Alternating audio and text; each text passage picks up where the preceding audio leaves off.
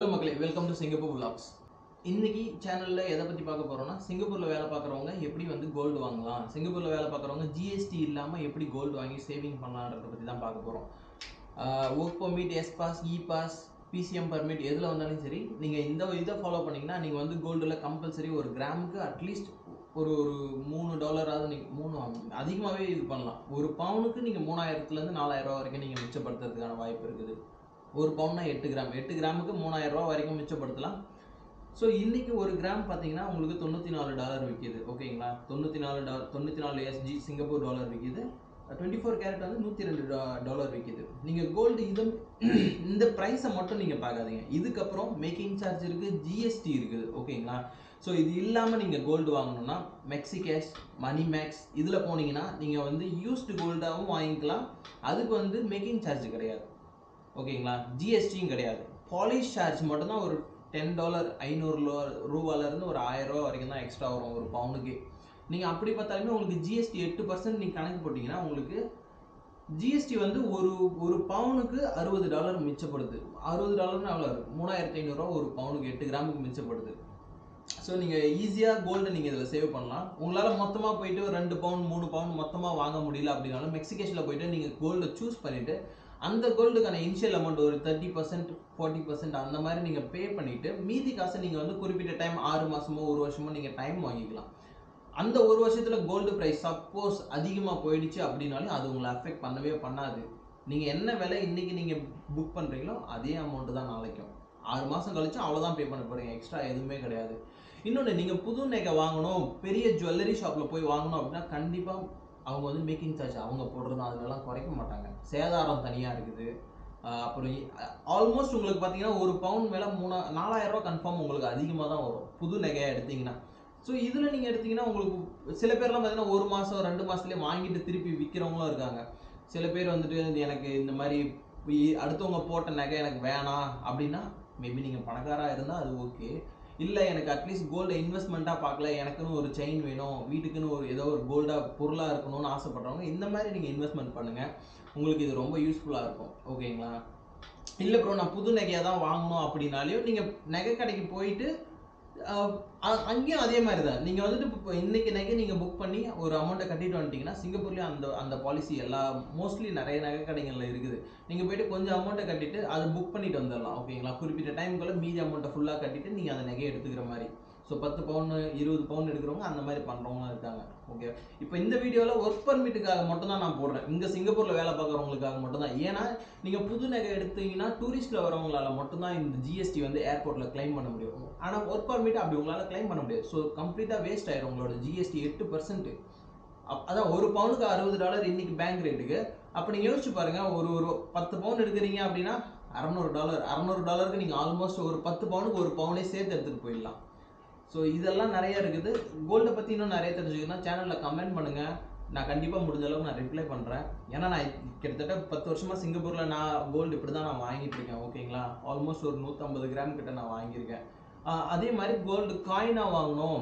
Biscuit அது அது அஞ்சு கிராம் பத்து கிராம் வரைக்குமே சின்ன சின்ன ஒரு கிராம் வரைக்குமே காயின்லாம் இருக்குது. காயின் பிஸ்கெட் மாதிரிலாம் இருக்குது.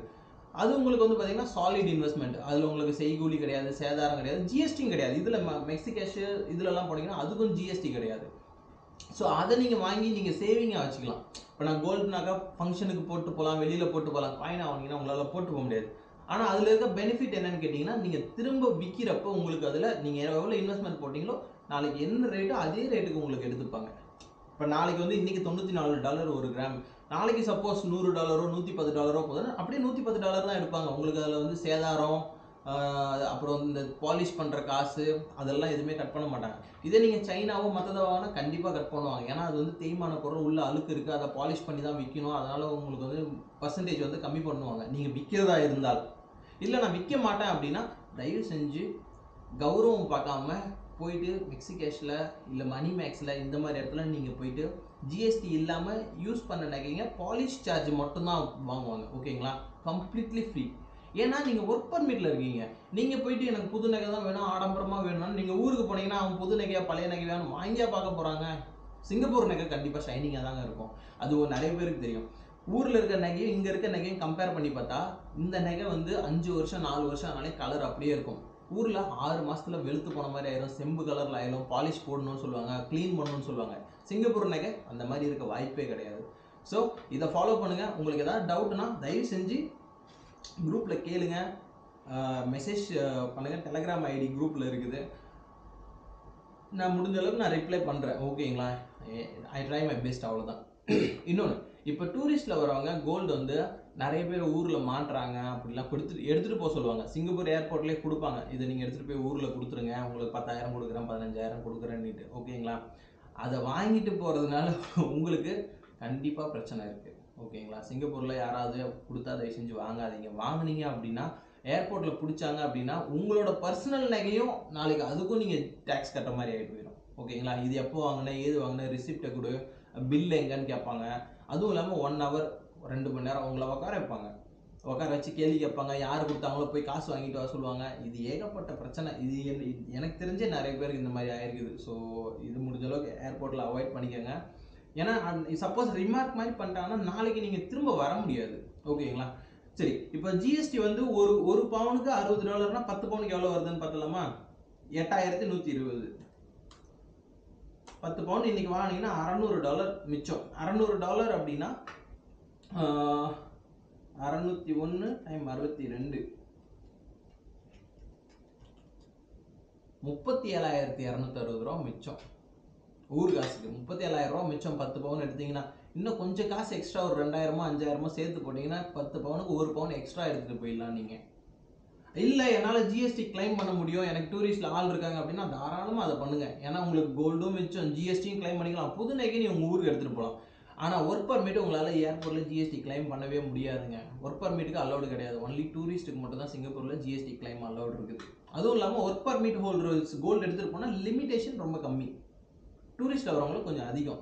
அதெல்லாம் கன்சிடர் பண்ணிட்டு நீங்கள் அதுக்கப்புறம் கோல்டு எடுத்துகிட்டு போகிறதா இல்லை என்ன பண்ணுறதுன்னு நீங்கள் பாருங்கள் ஓகேவா சப்போஸ் இப்போ நான் சொன்னதில் உங்களுக்கு எதாவது டவுட் இருக்குது அப்படின்னா தயவு செஞ்சு கமெண்ட் பண்ணுங்கள் அப்புறம் கோல்டை பற்றி இன்னும் ஒன்று சொல்லணும்னு நினச்சேன் நான். ஓகே டுவெண்ட்டி டூ கேரட்டுக்கும் டுவெண்ட்டி ஃபோர் கேரட்டுக்கும் என்ன வித்தியாசம்னு கேட்டிங்கன்னா ரொம்ப சிங்கப்பூரை பொறுத்த வரைக்கும் டுவெண்ட்டி டூக்கும் டுவெண்ட்டி ஃபோருக்கும் ரொம்ப பெரிய வித்தியாசம்லாம் கிடையாதுங்க. சும்மா சும்மா லைட்டாக தான் கொஞ்சம் மைனர் டிஃப்ரெண்ட் தான் இருக்கும். ஓகேங்களா கோல்டோட குவாலிட்டி கொஞ்சம் அதிகமாக இருக்கும். இதில் கொஞ்சம் செம்பு மிக்சர் வந்து கலப்படம் வந்து அதிகமாக இருக்கும். பட் கோல்டு பியூரிட்டி தான். சிங்கப்பூரை பொறுத்த வரைக்கும் கோல்டு வந்து ரொம்ப குவாலிட்டியாக இருக்கும். அது கன்ஃபார்ம் ஏன்னா நானே ஊருக்கு எங்கள் அம்மாவுக்கு கம்மலோ இருக்கட்டும் தங்கச்சிக்காக இருக்கட்டும் இல்லை என் ஒய்ஃப் வாங்கினதாக இருக்கட்டும் சிங்கப்பூர் நகை தான் நான் இவ்வளோ நாளாக யூஸ் பண்ணிட்டு இருக்கேன். ஊரில் நான் கோல்டு எதுவும் எனக்குன்னு பர்சனலாக வாங்கினது கிடையாது.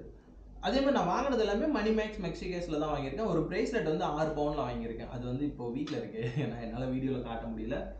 மேபி அடுத்த வீடியோ நான் போட்டால் கண்டிப்பாக அந்த பிரேஸ்லெட்டை பற்றி நான் சொல்கிறேன் ஓகேங்களா அது எப்படி வாங்கினேன்?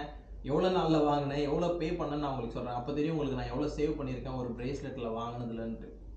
ஓகேங்களா எனக்கு தெரிஞ்சு இப்போ இப்போ இங்கே ஒர்க் பர்மிட்டில் வாங்குறத பற்றி முடிஞ்ச அளவுக்கு சொல்லிட்டேன். ஏதாவது நான் மிஸ் பண்ணியிருந்தனால கமெண்ட்டில் சொல்லுங்கள் நான் அடுத்து வேறு ஏதாவது கோல்டை பற்றி வீடியோ போடுறப்ப அதை நான் அப்டேட் பண்ணிக்கிறேன். ஓகேங்களா இன்னைக்கு கோல்ட் ரேட் இங்கே இங்கே ஒரு கிராம் வந்துட்டு இருங்க.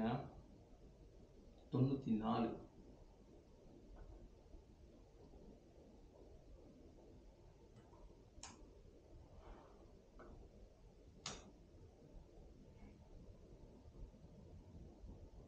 ஓகேங்க சரி முடிஞ்ச அளவுக்கு நான் வீடியோ சொல்லிட்டேன். பார்ப்போம் இது எவ்வளோ வியூஸ் போகுது என்னன்னு தெரியல. முடிஞ்ச அளவுக்கு சப்ஸ்கிரைப் பண்ணி சப்போர்ட் பண்ணுங்க கைஸ் ஏன்னா நான் நான் வீடியோ போகிறதெல்லாம் அவ்வளோவா போக மாட்டேங்குது. என்னன்னு தெரியல. பட் எனக்கு தெரிஞ்சதை நான் சொல்கிறேன் அதுக்குன்ட்டு நான் வியூஸ்க்காக சப்ஸ்கிரைபருக்காக ஏதாவது தெரிஞ்சதெல்லாம் பொய்யா சொல்லணும்லாம் கிடையாது. எனக்கு தெரிஞ்சதை நான் சொல்கிறேன் கரெக்டாக இருந்தால் ஏற்றுக்கங்க தப்பாக இருந்தால் தயவு செஞ்சு கமெண்ட்டில் சொல்லுங்கள் நான் மாற்றிக்கிறேன் ஓகேங்களா தேங்க்ஸ் கைஸ் பை பை